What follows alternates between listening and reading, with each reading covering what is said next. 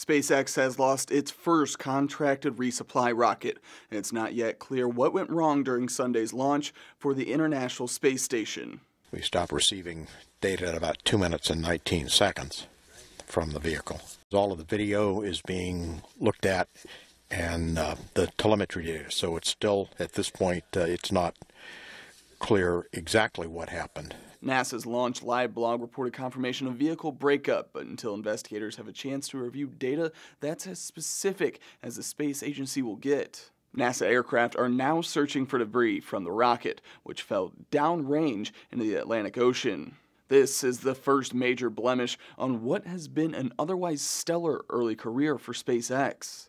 Of its now 19 attempted launches to space, 18 have made it, and of those, one has encountered complications thanks to a faulty engine. CRS 1's primary resupply mission to the International Space Station went flawlessly, but a secondary payload from communications company Orbcomm fell out of orbit less than four days after it hitched a ride aboard the launch. No, we're not counting SpaceX's experimenting with reusable launch vehicles in this tally. So far, its automatic landings haven't worked out, but each rocket has fulfilled its intended mission first.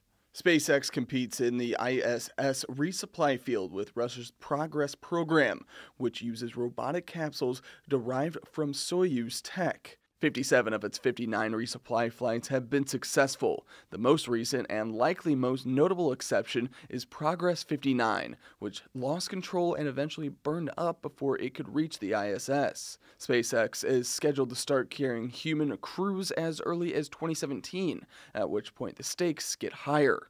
There haven't been crewed launches from the US since the shuttle program ended. In 135 shuttle flights since 1981, four were cut short due to equipment or weather complications. Two failed, resulting in the loss of shuttles and their crews Challenger in 1986 and Columbia in 2003. The Russian Federal Space Agency has made 58 manned Soyuz flights since 1992 with no fatalities. With two years to go, SpaceX is already preparing its safety measures for manned flights.